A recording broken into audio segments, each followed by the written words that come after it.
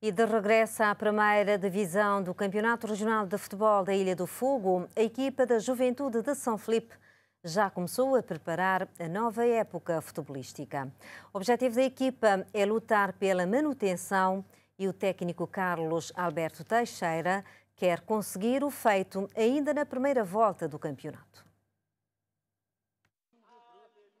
Um ano depois, a equipa da Juventude está de volta ao primeiro escalão do Campeonato Regional de Futebol da Ilha do Fogo. A equipa de São Felipe está entre as que lutam pela manutenção e, ao longo dos últimos anos, tem tido dificuldade em manter-se entre as 10 melhores da Ilha do Fogo. Carlos Alberto Teixeira, que está no comando da equipa este ano, quer quebrar este ciclo e o objetivo é conseguir a manutenção ainda na primeira metade do campeonato. E sempre Juventude esse ano, bem com postura, luta para objetivo e para manutenção.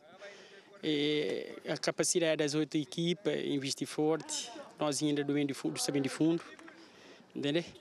E o primeiro objetivo é na primeira parte para conseguir nosso objetivo que é manutenção. Depois, está jogo a jogo a jogo, tu pode fazer uma boa época. Praticamente eu tenho duas equipas de Mosteiro que está luta para manutenção, eu tenho mais uma equipa de Norte que está luta para manutenção e mais duas de Vila que é a nossa Valência, entendeu? Equipa que pode jogar para o campeonato, aquele três times grandes e talvez o Telinta promete